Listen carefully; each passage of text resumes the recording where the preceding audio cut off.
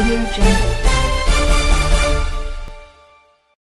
हिमाचल में आज से कोरोना कर्फ्यू में दी गई ढील के चलते सुबह छह बजे से सड़कों पर एचआरटीसी की बसें दौड़ना शुरू हो गई। बसों में सवारियाँ तो कम दिखी लेकिन आने जाने वाले लोगों को काफ़ी राहत मिली। आज से सभी ऑफ़िस में 50 फ़ीसदी स्टाफ पहुँचा। सरकारी बसों के चलने के कारण ऑफ़िस पहुँचने वालों को सुविधा दी गई बसों के चालकों व परिचालकों को फेस शील्ड, मास्क पहनने के साथ साथ सैनिटाइजर का इस्तेमाल करने के निर्देश दिए गए हैं। पचास फ़ीसदी यात्रियों के साथ बसें चल रही है। हालाँकि निजी बस ऑपरेटरों ने विशेष रोड टैक्स और टोकन टैक्स पूरा माफ़ न करने के विरोध में बसें न चलाने का फैसला लिया है। लेकिन जिला कांगड़ा में कुछ एक निजी बसें सड़क पर दौड़ती नज़र आ रही हैं। उधर टैक्सी व निजी वाहन सौ फ़ीसदी सवारियों के साथ चलने शुरू हो गए हैं। बाजारों में भी आज शाम पाँच बजे से दुकानें खुली रहेंगी, लेकिन शनिवार और रविवार को सिर्फ़ ज़रूरी सामान की दुकानें खुली रहेंगी। पहले की तरह रोज़ाना शाम पाँच बजे से सुबह पाँच बजे तक कोरोना कर्फ्यू जारी रहेगा। वही आज से मानकर चलिए की प्रदेश भर में करीब करीब तीन हज़ार से ज़्यादा होटलों के ताले भी खुल गए हैं। पर्यटकों को हिमाचल में प्रवेश के लिए covid nineteen E pass portal पर पंजीकरण करना अनिवार्य किया गया है।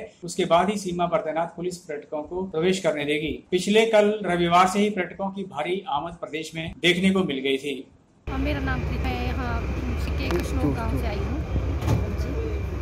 मैम जो सर मैं तो नहीं आई पर मैंने देखा इधर उधर जिनको आना होता था वो गाड़ी करके ही आ आ पाते। तो है फाइनेंशियली अगर हो प्रॉब्लम तो फिर तो मैम जैसे मतलब ये गाँव में ज़्यादातर हमारी साइड तो एक ही बस है जो गवर्नमेंट है बाकी प्राइवेट ही है तो इस वजह से भी प्राइवेट चलनी चाहिए तो आपको कितनी दिक्कत कि काफ़ी दिक्कत है। सरकारी भी जाना हो कुछ भी होता ही है।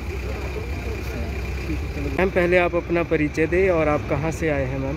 दीपा ठाकुर है और मैं चंडीगढ़ श्लोक से आई हूँ जिला सोलन का जो एक गाँव है। एक ही ऑप्शन था इस टाइम पे तो कि कोई पर्सनल गाड़ी हो पर्सनल व्हीकल से आ सकते हैं या फिर हम व्हीकल वगैरह जो देखिए करके आ सकते हैं। जिस तरह से देखिए प्राइवेट बसें ना चलने से हमें तो बहुत ज़्यादा नुकसान हुआ है क्योंकि हमारे वहाँ पे एक ही सरकारी बस है बाकी सब प्राइवेट बसेज है।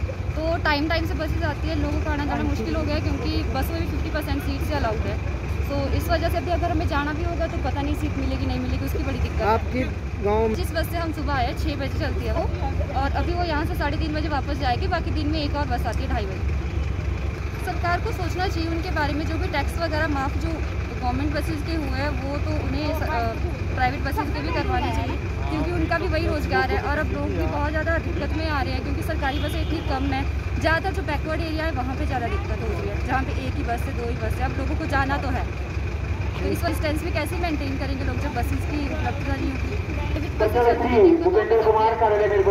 ज़्यादा हमारे गाँव में प्राइवेट बसें भी नहीं है तो प्राइवेट बस वालों को कुछ छूट देनी चाहिए ताकि वो भी अपना रोज़गार देख सके। पीएलटीवी के लिए शिमला से पुष्पेंद्र की रिपोर्ट.